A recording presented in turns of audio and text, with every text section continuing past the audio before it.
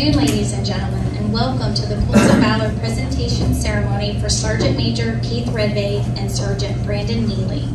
At this time, would you please rise for the posting of the colors, the national anthem, and the Pledge of Allegiance.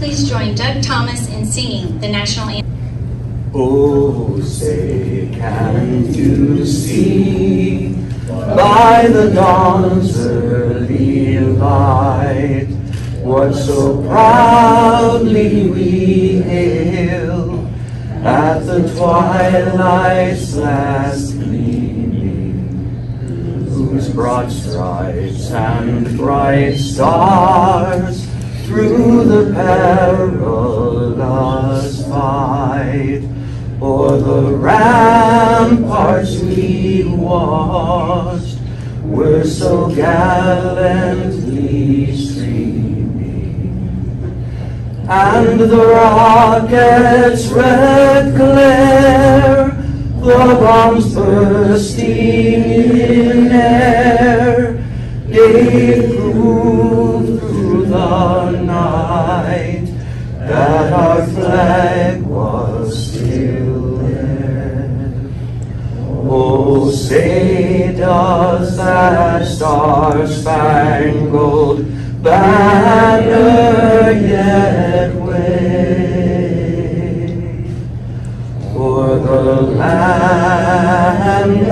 the free and the home of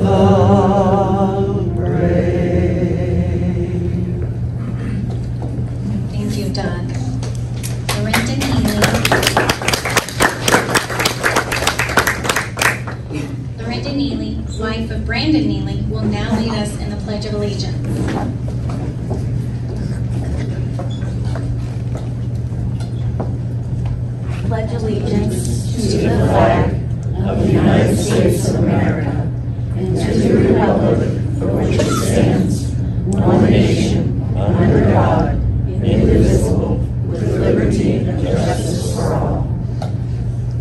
Thank you, Lorinda. At this time, all veterans, please remain standing, and everyone else may take a seat.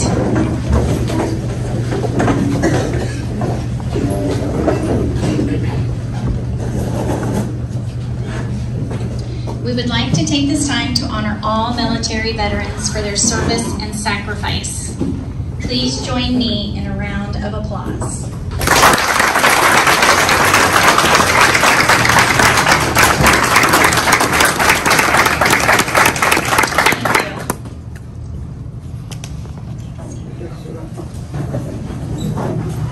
Please help me in welcoming Noreen Jagley from the Quilts of Valor Foundation, who will be presiding over and presenting the quilts. Thank you, Noreen.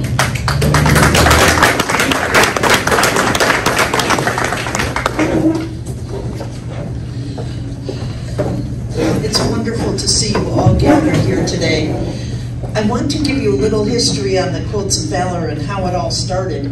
It started way back in 2003 by a woman named Catherine Roberts. She actually had a dream during the night about her son who happened to be stationed in Iraq and he seemed really distressed. And she thought, what could she do for him?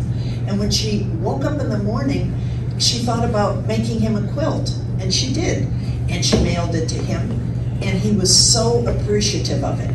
Because when a quilt is wrapped around you, you realize that whoever made that really loves you. And it's a very comforting feeling. So then she started gathering volunteers. Well, since 2003, We've got volunteers all across the country. There's 600 different groups from Oregon, Maine, all the way down to Florida, who gather together and they sit and sew and make quilts. And why do we do it? Because we want to honor all our combat service members and veterans who have been touched by war with a quilt of valor. Since January of this year, 1,387 quilts have been awarded. Now that's just one month. Since it started way back in 2003, 267,228 quilts have been awarded. And these quilts are designed to bring a three-part message. First, we want to honor you for your service to the United States. Because of brave men and women like you, we in the United States are able to sleep through the night, knowing we're protected from the effects of war. Second, we know that freedom is not free. And our quilts are meant to say, thank you for your sacrifice. We're honored today to present two quilts. First of all, one to Gordon Keith Redvay, and I'd like to tell you a little bit about him. Keith proudly served in the U.S. Army from 1985 to 2012. His military career included multiple deployments, which included, but weren't limited to, Kosovo, Bosnia, Iraq, and Afghanistan. Places he has been assigned to included Fort Benning, Georgia, Fort Bragg, North Carolina, Vicenza, Italy, Fort Sill, Oklahoma, and Fort Drum, New York.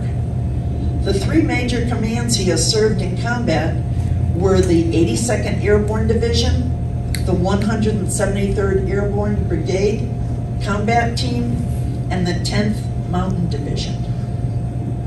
Throughout Keith's time in the Army, he served as an artilleryman, infantryman, and a paratrooper, achieving such titles as Master Gunner, Jump Master, Master Parachute, Parachutist, and Special Weapons Team Leader.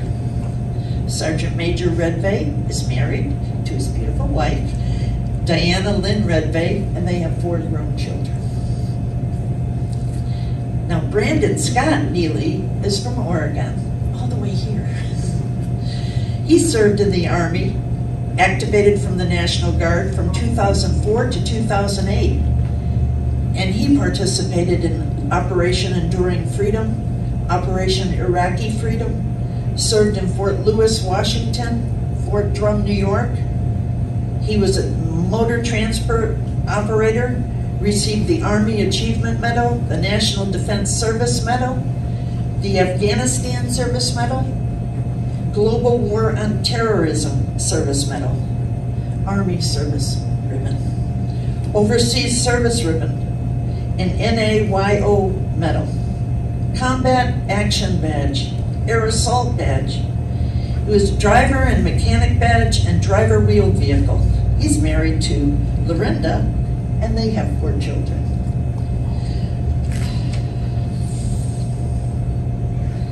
These quilts are meant to offer comfort to you. Know that each quilt is stitched with love and prayers for you. As I said, 10,000 volunteers, 600 groups. Every quilt tells a story. This one began in Florida, in the United States of America, by quilters in the Tampa Bay area. We share your love of country. We'd like to present those quilts to you now. If you could come forward.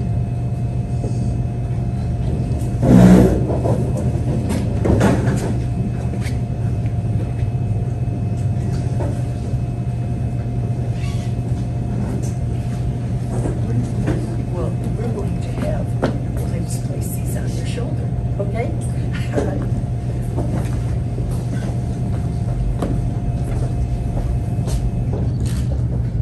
This one's for Gordon.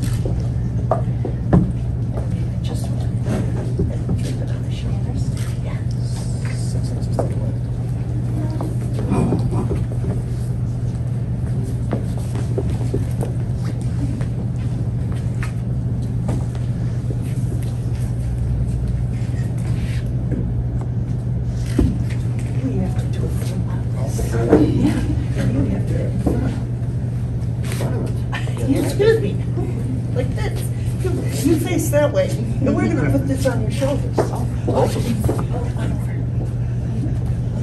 This is, this is, excuse me. There we go, now we got it. Oops.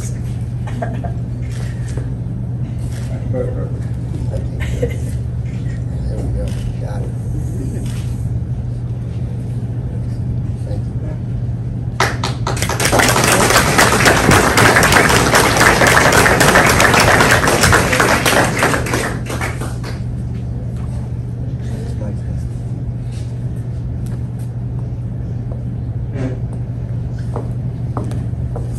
Brandon, I am Gordon Keith Redvay. Uh, Some of you may or may not know, in January I suffered a stroke in Cheyenne, Wyoming. And I spent the last month and a half with my helicopter wife hovering over me, making sure that no matter what happened, I was going to be back in, back in action. Being that I am here, and, and all of you are here joining me, I am doubly honored and humbled be able to stand here in front of you. It was my honor to serve in the Army for 26 years. If they'd let me come back right now, I'd be there. The Sergeant Major's ready. In fact, I'd take Brandon with me because he served with me in Afghanistan for a tour, and I'm sure he's got a few stories about how nice and gentle and nice, easy going I was.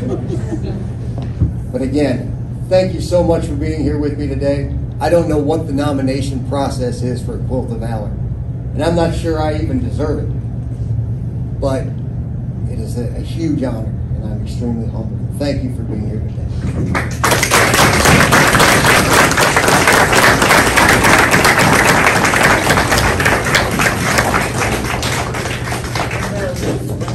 Okay, and you took it. All I right, think I got it. got it. I stand back from you. Very short. They're gorgeous.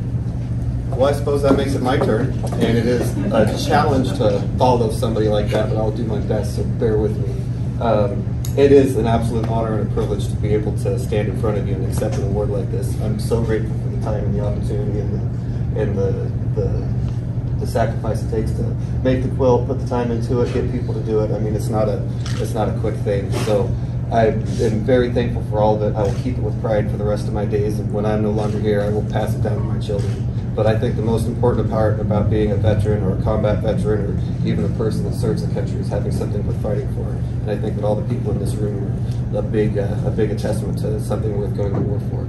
So I thank every one of you for being here today. It's a privilege to call myself a veteran, and I will forever be grateful for this privilege. Thank you all so much.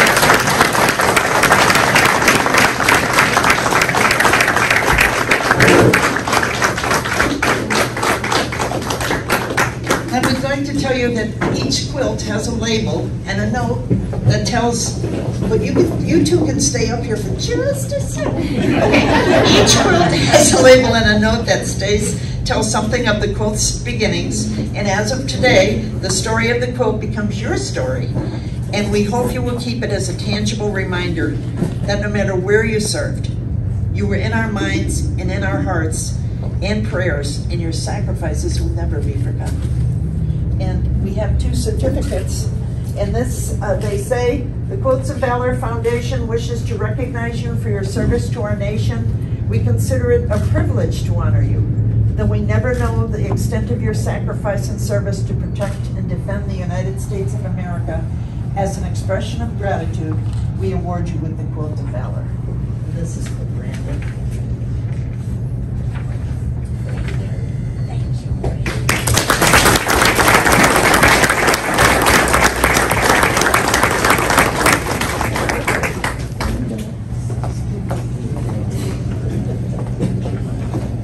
Well, I left my notes over there on the table, so all I really want to say is thank you, Noreen, for this. Mary, thank you very much for helping me with the guidance in this. I can't thank you enough. Thank you all for joining us here today. This is really a great turnout. Just join us in some refreshments, sandwiches, and thank you all very much. That's all I got to say. Thank you all.